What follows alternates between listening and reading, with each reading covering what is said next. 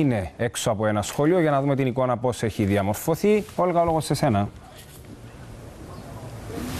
Καλό μεσημέρι, Ανδρέα. Κυρίες και κύριοι, βρισκόμαστε στο τρίτο δημοτικό σχολείο των Λατσών. Ένα από τα 194 ολοήμερα σχολεία τα οποία επηρεάζονται σήμερα ε, από την απεργία των εκπαιδευτικών οι οποίοι εργάζονται στο ολοήμερα σχολεία.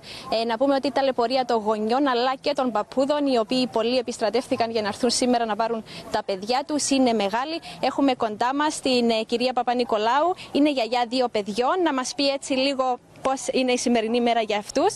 Ε, καλησπέρα, να μας πείτε αν ταλαιπωρηθήκατε και. Αρκετά, αρκετά ταλαιπωρηθήκαμε, αρκετά ταλαιπωρούνται τα παιδιά, οι γονείς, οι παππούδες, οι γιαγιάδες και αυτό δεν είναι σωστό.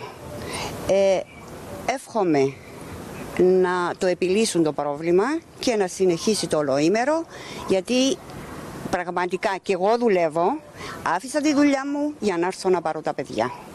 Εδώ φοιτούν δύο παιδιά που μένουν όλο ημέρο. Δεν είναι σωστό.